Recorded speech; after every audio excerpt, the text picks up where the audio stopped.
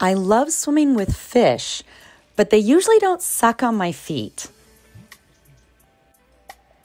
Would you put your feet into a vat of fish that you know are going to suck on your feet and toes for the sake of a pedicure? I did.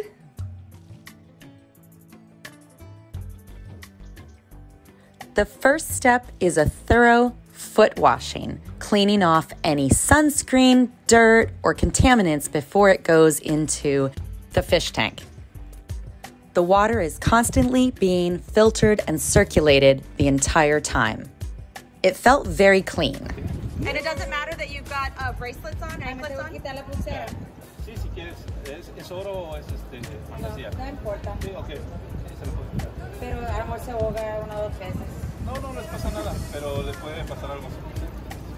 I am extremely ticklish. Honestly, nothing could have prepared me for this sensation. No,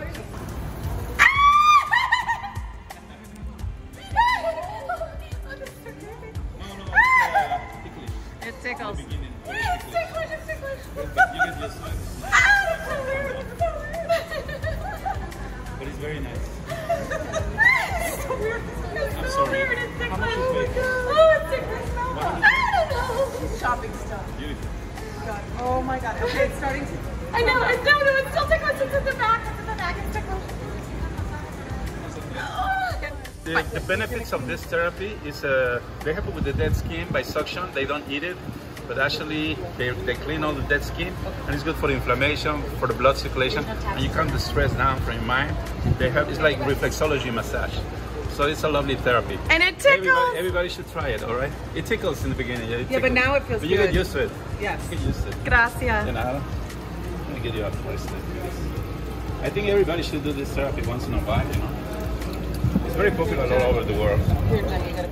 Once our time is up, we wash and dry our feet. And I have to admit, several days later, my feet are so soft. It really does work. Thanks for watching. Be sure to like and subscribe for more videos from Jen There, Done That, doing some pretty crazy things in the Caribbean and beyond.